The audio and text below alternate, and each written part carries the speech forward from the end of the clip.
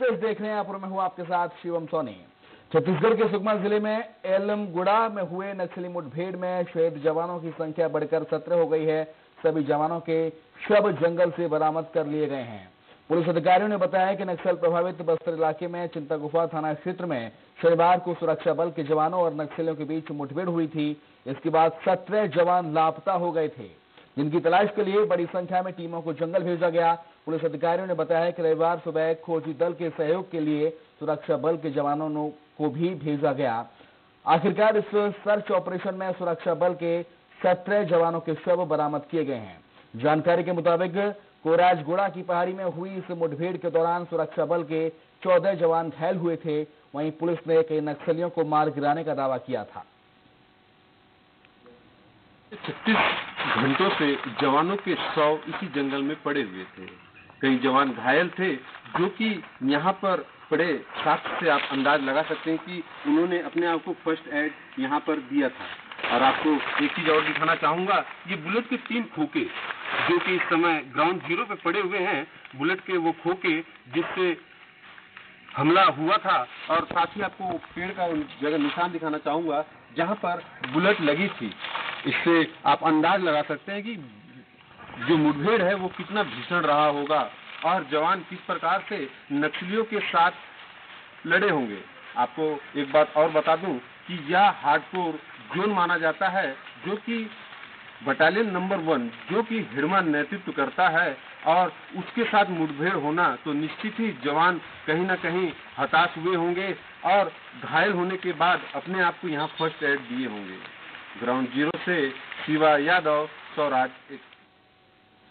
सुकमा में नक्सली हमले में सत्रह जवानों की शहादत पर राज्यपाल अनुसुईया उइके, सीएम बघेल और पूर्व मुख्यमंत्री डॉक्टर रमन सिंह ने गहरा दुख प्रकट किया है। सभी ने शहीद जवानों के परिजनों के प्रति संवेदना व्यक्त की है।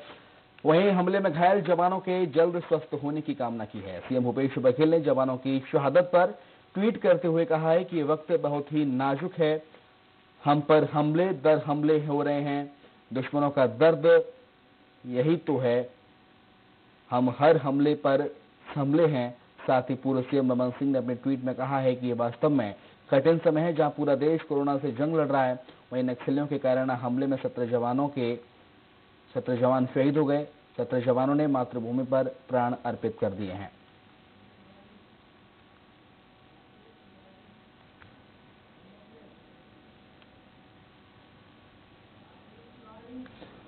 तो ज़्यादा जानकारी के लिए हमारे साथ हमारे संवाददाता आशीष तिवारी फ़ोन लाइन में जुड़ गए हैं। आशीष, मुख्यमंत्री भूपेश बघेल और पूर्व मुख्यमंत्री रमन सिंह का भी ट्वीट अब सामने आया है इस पूरी घटना पर। श्रद्धांजलि अर्पित की है। जो जवान शहीद हुए हैं डॉक्टर हमले में जो जवान शहीद हुए उनकी शहादत को सम्मान देने की कोशिश तमाम राजनेताओं ने की है। मुख्यमंत्री भूपेश बघेल ने अपने ट्वीट में कहा है कि वक्त नाजुक है। हम हम पर हमले दर हमले हैं। दुश्मन का दर्द यही तो है, हम हर हमले पर संभले हैं। यानी एक चुनौती के तौर पर इस हमले को लिया है मुख्यमंत्री भूपेश बघेल ने और शायराना अंदाज में एक ट्वीट है, वीर जवानों को शहादत को नमन किया है मुख्यमंत्री ने। राज्यपाल अनुष्ठा तमाम जो नक्सल वारदात में जो जवान शहीद हुए हैं श्रद्धांजलि अर्पित की है। जो परिजनों के प्रति संवेदना व्यक्त की है। पूर्व मुख्यमंत्री डॉक्टर रमन सिंह ने अपने ट्वीट में श्रद्धांजलि जताते हुए ये लिखा है कि अब वास्तव में कठिन समय है जहाँ पूरा कोरोना से जंग लड़ रहा है। वहीं नक्सलियों के कैराना हमले में सत्रह वीर जवानों ने मातृभूमि पर प्राण अर्पित कर दिए। मैं शहीद जवानों को अश्वों श्रद्धांजलि अर्पित करता हूँ। ये तमाम नेताओं की ओर से श्रद्धांजलि देने का सिलसिला चल रहा है। थोड़ी देर पहले पीसीसी शेष मोहन मरकाम ने भी नक्सल वारदात में जो जवान शहीद हुए हैं उन्हें अपनी ओर से श्रद्धांजलि अर्पित की है। जी आशीष हालाँकि इतनी बड़ी घटना हो गई सत्रह जवानों की शहादत निश्चित रूप से एक बड़ी घटना है। तो क्या आर्थिक सहायता का भी ऐलान किया गया है जो पर, जो शहीद हुए हैं उनके परिजनों के लिए? जो घायल है उनके लिए भी किसी तरह का कोई ऐलान राहत का ऐलान? देखिए नक्सल फ्रंट पर जितने भी सुरक्षा बल के जवान जो तैनात हैं, उनकी शहादत को लेकर पहले से ही एक व्यवस्था बनाई गई है कि शहादत को उचित सम्मान दिया जाए। और जब जन क्षति होती है, जवानों की जवानों की शहादत होती है तो जो नियम में जो प्रावधान, प्रधानित राशि है उस राशि का जो उस राशि को उनके परिजनों को देने का एक पहले से ही प्रावधान तय है। और अलग से कोई ऐसी कोई राशि का सरकार ने ऐलान तो नहीं किया, लेकिन ज़रूर एक बड़ी राशि पहले से ही प्रावधानित की गई है। जिन जवानों की शहादत हुई है, उन्हें सम्मान यह राशि उनके परिजनों को सरकार की ओर से, प्रशासन की ओर से मुहैया कराई जाएगी। अक्सर इस तरह के हमले आशीष होते हैं तो लगातार विपक्ष सरकार को घिरता है। लेकिन बहुत ही आपसी सौहार्दपूर्ण एक तरीके से साथ लड़ाई लड़ने की बात एक तरह से यहाँ पर देखने को मिली है, क्योंकि रमन सिंह के ट्वीट के बाद ही मुख्यमंत्री के ट्वीट के बाद ही रमन सिंह का ट्वीट भी सामने आता है। और वो ट्वीट में सरकार को बिल्कुल नहीं घेरते, उन्होंने ये ज़िक्र किया कि वास्तव में कठिन समय है, पूरा देश कोरोना से जंग लड़ रहा है, वही नक्सलियों के कैराना हमले में सत्रह वीर जवान शहीद हो गए।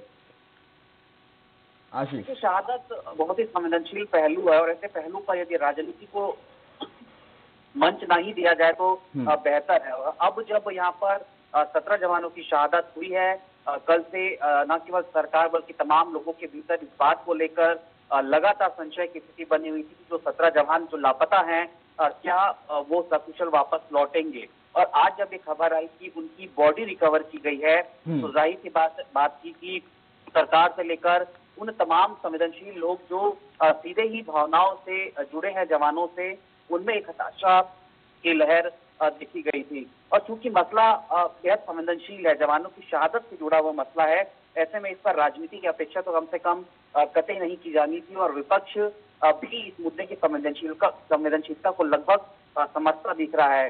न केवल पूर्व मुख्यमंत्री डॉक्टर रमन सिंह, बल्कि तमाम जो बीजेपी के या ऑपोजिशन पार्टी के जो नेता है, जिन्होंने शहीदों को श्रद्धांजलि दी है उन्होंने इस पर किसी की राजनीति नहीं की है, बल्कि एकजुटता के साथ नक्सलवाद को प्रतिकार करने की बात को तरजीह देने की कोशिश की है। निश्चित तौर से आशीष, एकजुटता तो दोनों के ट्वीट से साफ़ तौर से देखी जा सकती है, फ़िलहाल बहुत बहुत शुक्रिया जानकारी साझा करने के लिए। तमाम एहतियाती प्रयास